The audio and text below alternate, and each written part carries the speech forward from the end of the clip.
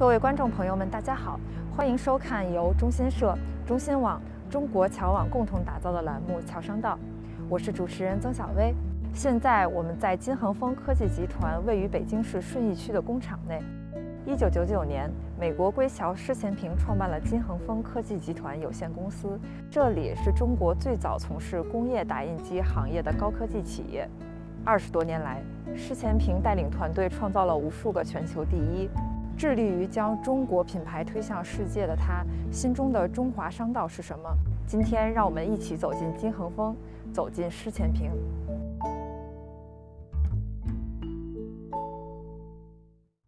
去年突然新冠的疫情，我们觉得，当国家遇到危难的时候，我们应该做点什么？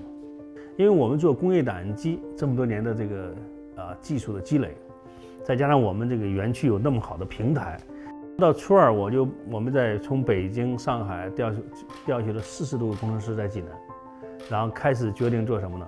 做口罩机生产，同时启动口罩生产线。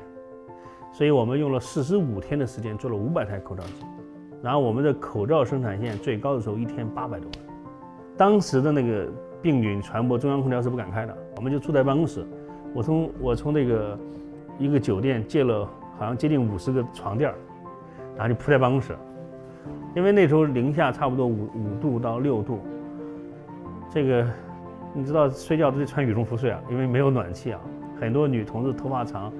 这个十几天、二十天不洗澡，你知道那个晚上睡觉拉拉手，弄到羽绒服不是有汗吗？都是闻到味都是味儿了。所以那个时候忙到什么程度？我平时减肥减不了，减不下去。我那时候四十五天减了十公斤。所以那时候只想一个事情：如何为疫情防控做一些贡献。那特别是作为一个侨商，叫党有号召，侨有行动，就是说，当国家遇到真正危难的时候、危机的时候。我觉得每一个人都应该站出来，做力所能及的事情，为这个社会做一些贡献。当时做工业打印机的时候，中国还处于一个空白的一个市场。然后当时我们在刚开始起初做工业打印机的时候，主要是做一些比较便宜的，然后这个中低端的。所以当时在中国的工业打印机，单台售价一百万以上的，就百分百进口。当年我们也是参加国际的会议比较多。有一次我们在啊国外的一个会议上，然后也有很多这个国外品牌的亚亚洲的员工，因为有时候比较熟，经常在一起聊天，说我们在中国的这个竞争啊没有竞争，我们高端的品牌实际上是没有竞争的，也是叫什么说则无意，听得有心。我当时就讲，我说实际上中国是可以做出来的，它需要时间。我当时讲这个话的时候，差不多是两千零六年。然后那时候我们就开始想，能不能做出一个好的打印机？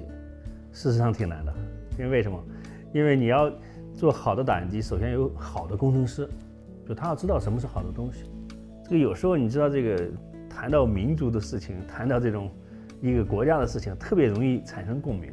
就是不管漂泊在任何地方的这个这个华人，他只要一谈到就说在为中国的哪个产业能做贡献的时候，实话实说，有时候这种就是这种。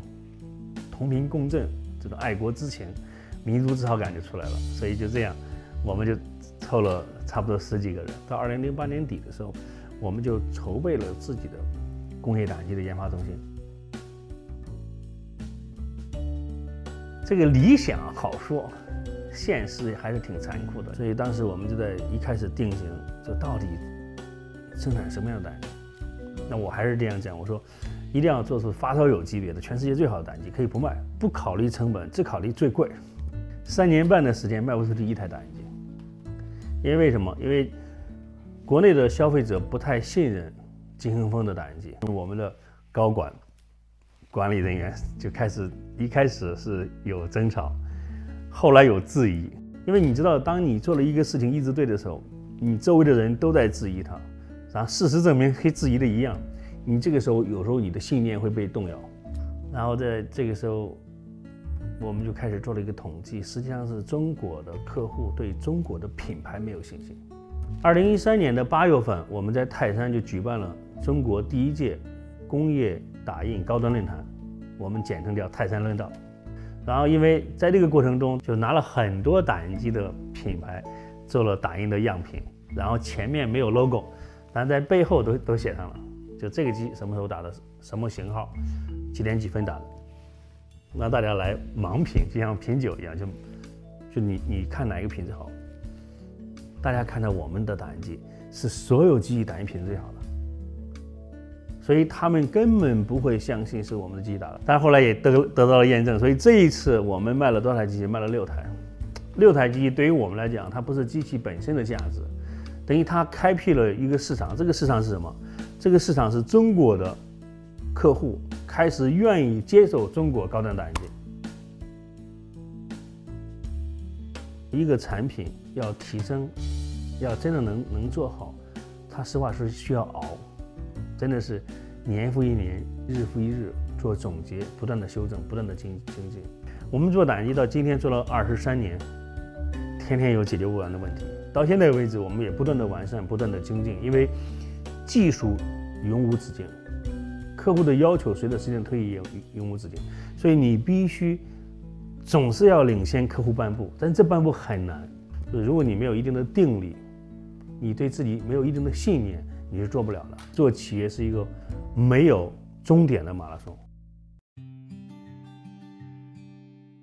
我们这个德迈国际产业集团主要是以实体经济为核心，致力于高科技产业的投资、建设、运营、管理，加上产业基金。我们还做了一个科技成果交易平台，就把我们在工业打印机成长的经验，然后呢这个总结的好的经验，然后帮助啊这个创业企业、加速器企业。成长型企业，然后让他们啊，这个一起共享我们在这个发展过程中遇到的一些问题，一些这个叫什么啊亮点，然后让他们少走弯路，然后共同成长。所以我觉得我做这个东西特别特别有意义。一定要非常理解，其实一个人特别在中国成功啊，我就从我自身的感觉来讲，如果说没有党领导的安定团结的大环境。没有改革开放的这种春风，像我们这些人怎么能成功呢？要感恩自己的祖国，感恩这个民族。当你成功了，一定要什么？叫取之于民，用之于民。你要不光是让自己发展的同时，还要促进共同的富裕，还要帮助这个叫需要帮助的人。所以我们这么多年，一直是不管生意大还是小，都拿出一定的比例的。利润来去做一些慈善的工作，如果没有感恩的心态，仅仅是一个生意，这是我觉得这不应该是中华美好的传统。我感受到目前中国各个方面都非常非常好，特别是创新创业的环境氛围特别好，因为中国有十四亿人的市场，这是一个非常巨大的市场。华人华侨不仅仅是要做好中外友好的桥梁，更应该参与到国家建设中，特别是一带一路。所以我希望。有机会跟给与这个全球的华人华侨朋友们一起，然后共创大业。